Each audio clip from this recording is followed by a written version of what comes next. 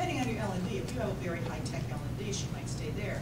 But some of our, um, community hospitals have pretty small labor delivery units.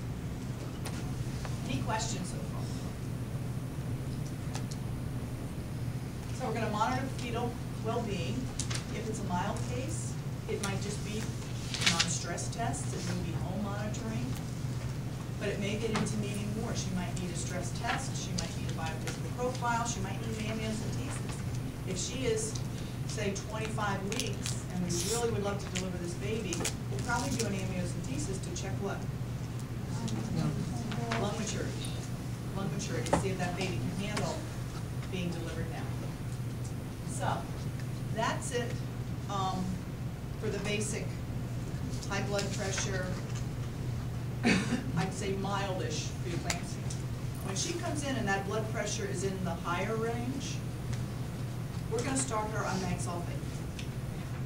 And you may have come across mag sulfate in some of your other travels for different disease processes. This one, mag sulfate is given to prevent seizures. I want you to write that big and bold, to prevent seizures. For some reason, a lot of you guys always wanna say, take the blood pressure down. Prevent, prevent seizures. Now, it is a smooth muscle relaxer, so we're relaxing her whole body. So sometimes,